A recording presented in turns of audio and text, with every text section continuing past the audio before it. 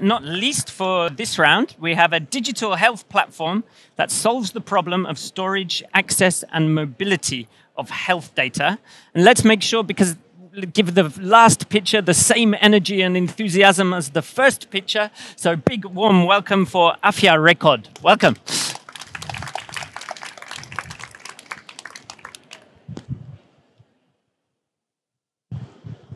Hi everyone.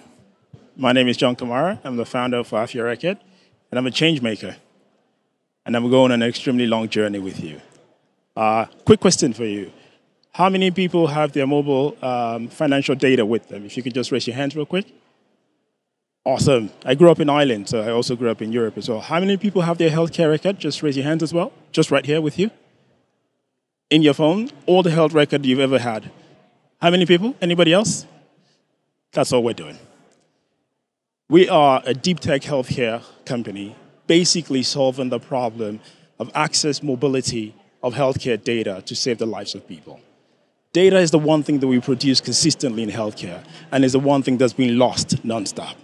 So we're not infrastructure, resources, all those cool things are solved by other people, but we're just focused on one thing. How do I make sure every healthcare record you have is mobile? As I go back to Dublin now, and I'm sick, I'd like my doctors to know all the health record I have from Nairobi, where I just came from, where I came from Ghana, because 33% of people in the world who die basically purely from misdiagnosis on blindsidedness.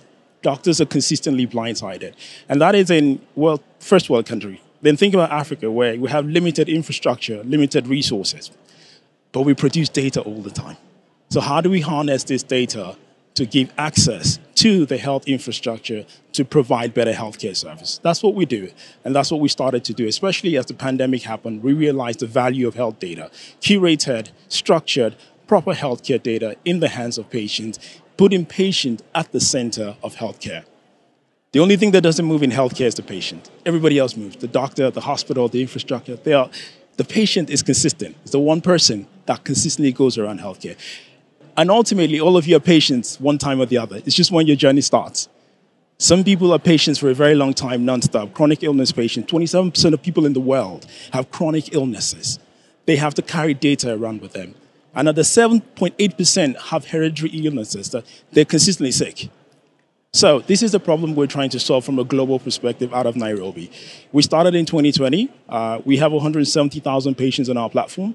We also connect the patients to every part of the ecosystem. So the patient is at the center, the hospital, the insurance provider, the research, everybody is connected back to the patient.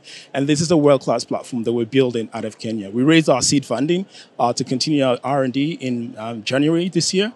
Uh, and we're now looking to really drive our product into the market because we've tested our alpha test. It works. And we can save life. And we actually save the lives of a few people just using data and giving doctors access to that data in real time. That's my pitch. Thank you very much. Thank you. So my first question is for AfyaRekod. Um, is there any international norm in um, the presentation of the data, of healthcare data, uh, to exchange, uh, to facilitate the, the, exchange of the data?